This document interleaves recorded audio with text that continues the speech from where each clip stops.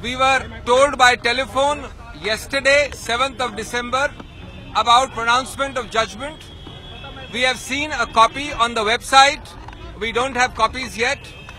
But we made it clear, I made it clear to the Honorable Magistrate today that each accused is extremely keen, ready and willing. I repeat, keen, ready and willing to appear before the magistrate court at the earliest possible date. This is our statement, not the complainants and not the court. We said so in the beginning. On Saturday, the 19th of December, at our request, the earliest possible date was given.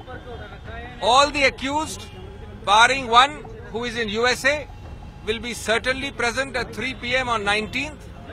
The US accused will also try his best to be here. Today, I, dis- I uh, apprised the court of what happened in the High Court. I gave a copy of the I gave a copy of the order, and then I said the accused should be present here today because they knew this is the date. Their lawyers had accepted this date.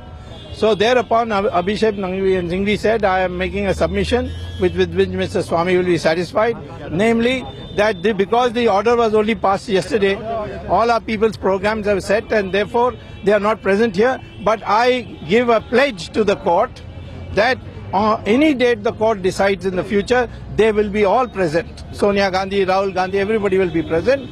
And so a date can be given. So the judge asked me, what do you have to say? I said, give a short date.